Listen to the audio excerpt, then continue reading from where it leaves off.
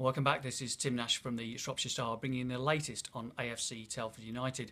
And uh, today we bring you news that uh, Telford are uh, once again uh, in the transfer market. They're hunting a defensive replacement for uh, uh, centre back Curtis Tilt, who is suspended for Saturday's visit against AFC Fylde. Um, behind me, as you can see, a picture of Mike Grogan now. Mike Grogan has been put on standby by manager Rob Smith uh, to cover Tilt's absence because Telford uh, only have one other uh, fit centre back at the moment, which is on loan FC Halifax man uh, Graham Hutchison, who, uh, of course, uh, put the Bucks ahead in the in Tuesday's 3 1 defeat against Hednesford.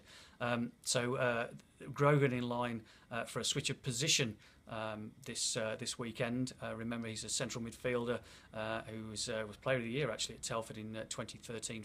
Uh, but as after a, a pre-season knee injury, has um, struggled for fitness, and, and after a, loan spell at Warrington Town, has struggled for regular starts with the Bucks this season. But if they don't sign someone in time for the visit of the um, the high flying side, uh, high flying Fylde, then uh, Grogan uh, could well be the man to step into the breach this weekend.